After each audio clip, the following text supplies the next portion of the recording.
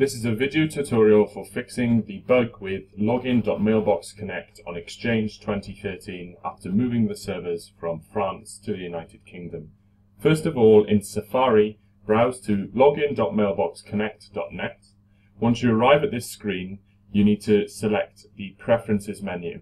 On Macs, this will be found under Safari on the top left-hand side, Preferences. On Windows machines, it will be found on the right-hand side, with the settings cog under preferences.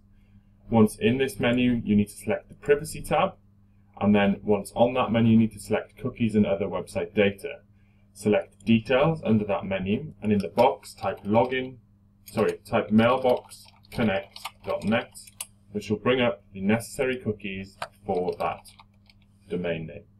Once you've selected Mailbox Connect in the menu here, select the Remove option and select Done and close, and then refresh Safari to be able to gain access to your Outlook email on the Exchange 2013 server.